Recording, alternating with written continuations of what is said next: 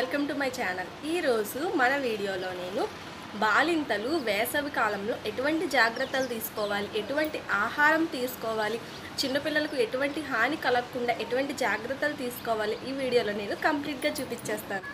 Already మన previous వీడియోస్లో బాలింతలు ఎటువంటి ఆహారం తీసుకోవాలి ఎటువంటి ఆహారం తీసుకోకూడదు బాలింతలు ఖచ్చితంగా ఎటువంటి జాగ్రత్తలు తీసుకోవాలి అలాగే చిన్నపిల్లలకి ఎటువంటి డైపర్స్ యూజ్ చేయాలి ఎలా స్నానం చేయించాలి అన్నీ ఆల్రెడీ మన ప్రీవియస్ వీడియోస్లో నేను డిస్కస్ చేసేసాను కదండి.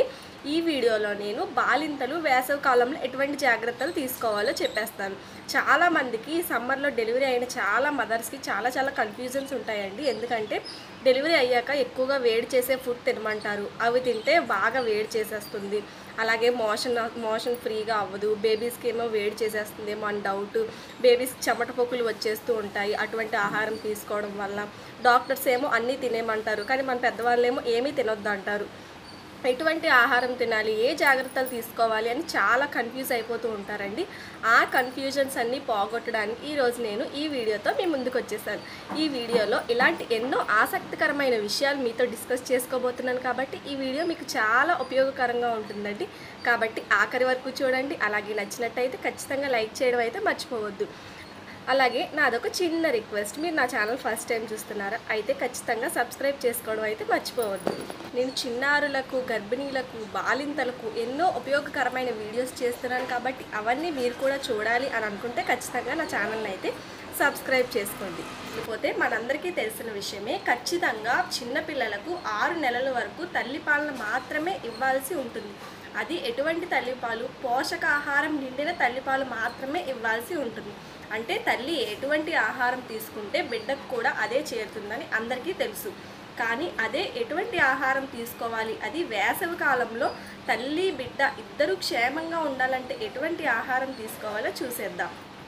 ముందైతే ఫస్ట్ మార్నింగ్ టు ఈవినింగ్ ఎలా ఆహారం తీసుకోవాలో స్టార్ట్ చేసేద్దాం. మార్నింగ్ ఫస్ట్ టిఫిన్ ఏం తీసుకోవాలి అంటే ఖచ్చితంగా నూనె పదార్థాలు అయితే తీసుకోకూడదు. దీనివల్ల పాల ఉత్పత్తి అనేది తగ్గిపోతుంది కాబట్టి మీరు ఖచ్చితంగా ఇడ్లీ లేదా రాగి జావ లేదా రాగి దోశ ఇటువంటివి తీసుకోండి. ఒక నెల తర్వాత మీరు రాగి పిండి తీసుకోవచ్చు. ఏమీ కాదు.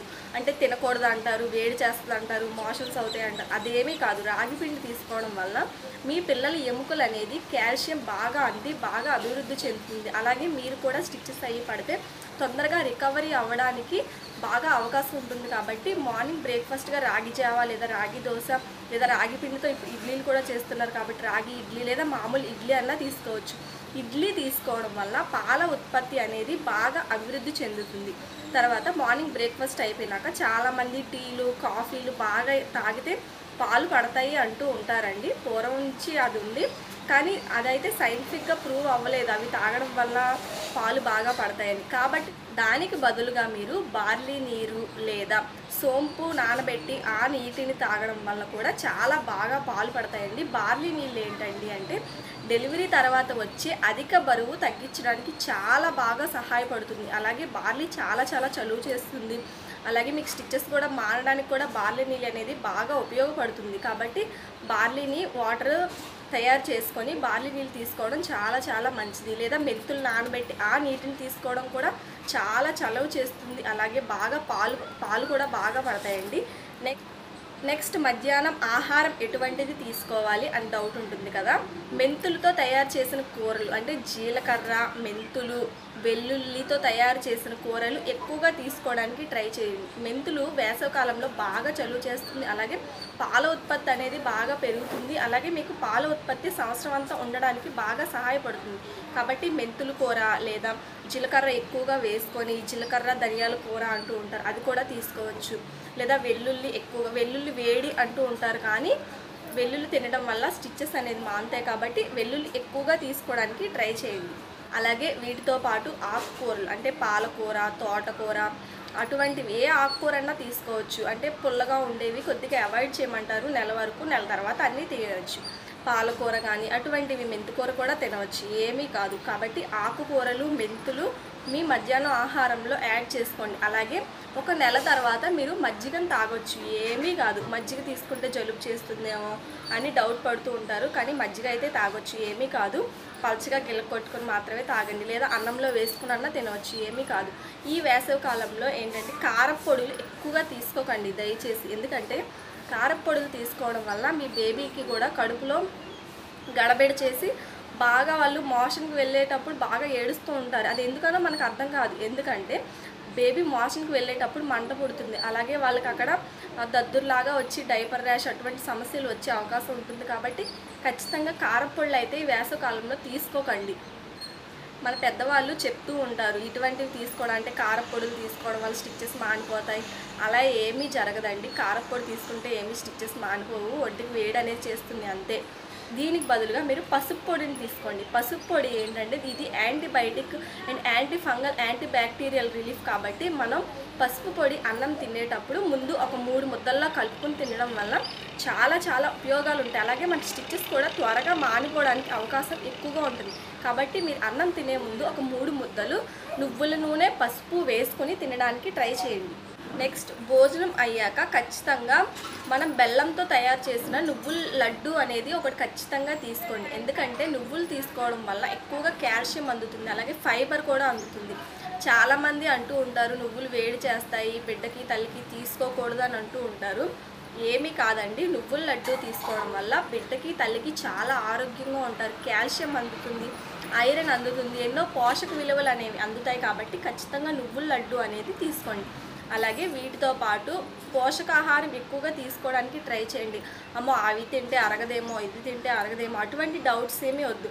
ఒకవేళ మీకు ఏమైనా డౌట్స్ ఉంటే నా ఛానల్లో ఆల్రెడీ ఒక వీడియోస్ ఉన్నాయంటే ఏ ఆహారం తీసుకోవాలి ఎటువంటి ఆహారం తీసుకోకూడదు ఎటువంటి జాగ్రత్తలు తీసుకోవాలి అవన్నీ ఉన్నాయి. ఒకసారి చెక్అవుట్ చేయండి. ఒకవేళ మీకు ఏమైనా చిన్న చిన్న సందేహాలు ఉంటే లేదా నన్ను కామెంట్ రూపంలో అడిగినా కూడా నేను ఖచ్చితంగా మీకు రిప్లై అనేది చేస్తాను. అంతేగాని పోషకాహారం అయితే మానకండి. దీనివల్ల మీ బిడ్డకి ఎంతో నష్టం చేసిన వాళ్ళు అవుతారు కాబట్టి మంచి పోషకాహారం తీసుకోవడానికి అయితే ట్రై చేయండి. నెక్స్ట్ నైట్ డిన్నర్కి వచ్చేసరికి చాలామంది భోజనం అనేది స్కిప్ చేసి అంటే టిఫిన్ తినాలి భోజనం చేస్తేనేమో అరగదు అటువంటివి అనుకుంటూ ఉంటారు. అలా ఏం కాదండి.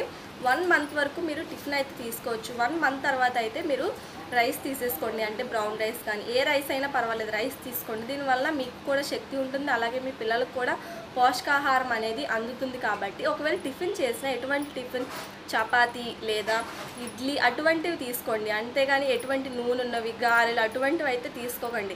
ఈజీగా డైజెషన్ అయ్యేవి తీసుకోండి. ఒకవేళ మీరు భోజనం చేసేలాగా అయితే తొందరగా చేసేయండి. అంటే ఏడు లోపు భోజనం చేసేస్తే మీకు అరుగుదల అనేది బాగా ఉంటుంది.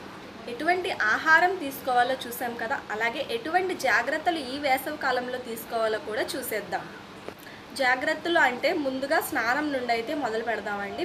ఆ బాలింతలు స్నానం ఎక్కువగా చేయకూడదు కుట్లవి చీమ్ పడతాయి అంటూ ఉంటారు కదా ఒక నెల వరకు అటువంటి జాగ్రత్తలు అయితే తీసుకోండి.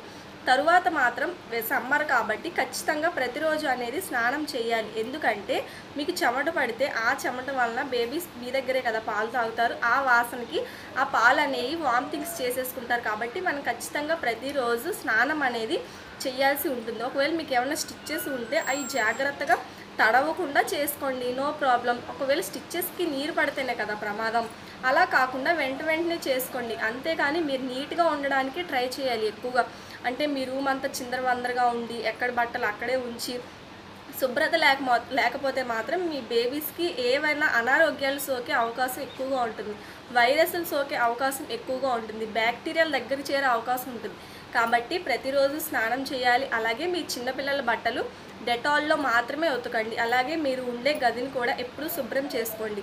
అలాగే రోజు ప్రతిరోజు కూడా తులసి వేప దీపం అనేది వేసుకోండి. అంటే తులసాకులు వేపాకులు ఎండబెట్టి ఆ ధూపం అనేది ఇంట్లో వేసుకుంటే ఎటువంటి బ్యాక్టీరియా ఉన్నా కూడా మీకు ఖచ్చితంగా పోతుంది. నెక్స్ట్ స్నానం విషయం అయిపోయింది కదా. నెక్స్ట్ పౌడర్స్ అండి. పౌడర్స్ కానీ లోషన్స్ కానీ సమ్మర్ వచ్చేసింది కదా. బాగా ఒళ్ళం చెమట వచ్చేసాయి. లేదా చెమట పడుతుంది మనం పౌడర్స్ వేసేసుకుందాం అని ఇష్టం వచ్చినట్టుగా ఒళ్ళంతా అయితే పౌడర్ వేసుకోకండి. ఎందుకంటే మీ బేబీస్ పాలు మీ దగ్గర తాగుతున్నప్పుడు అందులో ఉండే కెమికల్స్ కానీ ఏమైనా బిడ్డ లోపలికి వెళ్ళే అవకాశం ఉంటుంది కాబట్టి పౌడర్స్ అయితే ఎక్కువగా ఒంటి నిండా వేసుకోకండి. జాగ్రత్తగా వేసుకోండి. పాలు దా పా బిడ్డకి పాలు ఇచ్చిన ప్రతిసారి కూడా శుభ్రం చేసి మాత్రమే ఇవ్వండి. పడుకునేటప్పుడు కూడా మీ బేబీకి మినిమం గ్యాప్ అనేది మెయింటైన్ చేయండి. ఎందుకంటే బేబీస్ బాగా దగ్గరగా అంటి పెట్టుకొని పడుకోవడం వల్ల చెమట పట్టి ఆ ప్లేస్లో చెమట బొక్కులు వచ్చే అవకాశం ఎక్కువగా ఉంటుంది కాబట్టి కొంచెం జాగ్రత్తగా పడుకోవడానికైతే ట్రై చేయండి. వీటన్నిటితో పాటు బొప్పాయి ఎక్కువగా తినండి. ఎందుకంటే బొప్పాయిని తీసుకోవడం వల్ల పాల సమృద్ధి అనేది బాగా ఉంటుంది కాబట్టి అలాగే మీకు కూడా మోషన్ అనేది ఫ్రీగా అవుతుంది కాబట్టి వీటన్నిటితో పాటు బొప్పాయిని తీసుకోండి.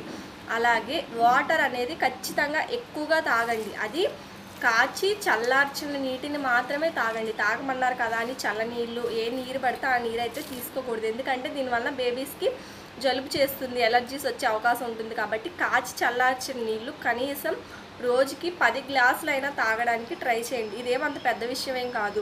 అరగంటకు ఒక గ్లాస్ చొప్పున తాగేస్తే మీకు రోజుకి పది గ్లాసులు అనేవి ఈజీగా అయిపోతాయి. దీనివల్ల మీకు కూడా ఎటువంటి సమస్య అనేది ఉండదు కాబట్టి ఖచ్చితంగా వాటర్ అనేది ఎక్కువగా తాగడానికి ట్రై చేయండి. ఇదండి నా వీడియో. నా వీడియో ఏ చిన్న విషయం నచ్చినా కూడా ఖచ్చితంగా లైక్ చేయండి. అలాగే ఏం నచ్చిందో కూడా కామెంట్ చేయండి. అలాగే మీకు ఎటువంటి చిన్న డౌట్ ఉన్నా కూడా ఆలస్యం అనేది చేయకుండా నన్ను కామెంట్ రూపంలో అడగండి. నేను ఖచ్చితంగా రిప్లై అనేది చేస్తాను. నేను ఇలాంటి ఎన్నో ఉపయోగకరమైన వీడియోస్ చేస్తున్నాను కాబట్టి అవన్నీ మీ వరకు రావాలంటే ఖచ్చితంగా సబ్స్క్రైబ్ చేసుకోండి. దానికోసం మీరు ఏమి చేయని అవసరం లేదు. వీడియో కింద రెడ్ కలర్లో సబ్స్క్రైబ్ అనేది వస్తుంది. దాన్ని ప్రెస్ చేయగానే పక్కన బెల్ ఉంటుంది. బెల్ ఆప్షన్లో ఆల్ ఆప్షన్ ప్రెస్ చేసుకుంటే నేను ఏ వీడియో చేసినా మీకు నోటిఫికేషన్ రూపంలో వస్తుంది. వీడియో ఆఖరి వరకు చూసినందుకు చాలా థ్యాంక్స్ ఫ్రెండ్స్ నా next videos baby food series అనేది నేను స్టార్ట్ చేద్దాం అనుకుంటున్నా. అంటే ఆరు నెలల నుంచి సిర్లాక్ ఎలా తయారు చేయాలి బేబీకి ఫుడ్ ఎలా పెట్టాలి అండ్ మిక్స్డ్ వెజిటబుల్ కిచడీస్ అవన్నీ నేను చూపిద్దాం అనుకుంటున్నాను మరి అవన్నీ రావా అవన్నీ మీ వరకు రావాలంటే ఖచ్చితంగా సబ్స్క్రైబ్ చేసుకోండి. Thanks for watching bye friends